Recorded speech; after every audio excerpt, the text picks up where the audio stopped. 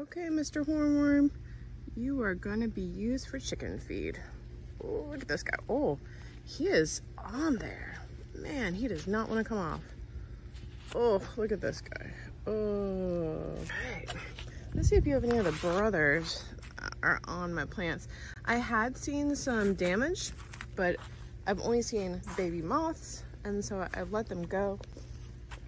But you can see how much they ate. There you go. That's that's hornworm damage. I don't know if you see it. So uh, see how it eats like all the leaves in the stalk. So that's how you know you have hornworms. So what I'm going to do next is I'm going to come out here at night with the um, black light and check for more. All right, can you spot the hornworm?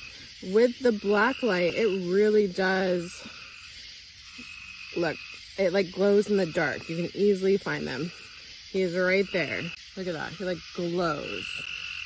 So whoever thought of doing a black light to find these guys, super smart. All right, here's my haul tonight. I'll probably do this for a couple more nights uh, to make sure that, you know, there's none that I missed. Here, chicky, chicky, chicky.